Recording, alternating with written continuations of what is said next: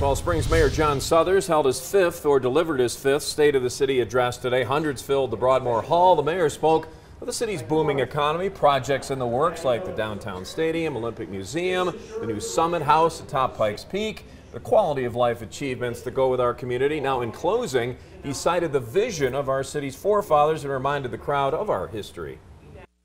We must continue to build a city that matches our scenery, a shining city at the foot of a great mountain.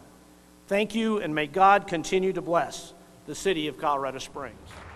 The mayor also mentioned upcoming challenges like homelessness and affordable housing. While everything wasn't rosy at that address today, several people have been taking part in protests surrounding the De'Von Bailey police shooting were there. Their demands today continuing to call for District Attorney Dan May to hand over that investigation.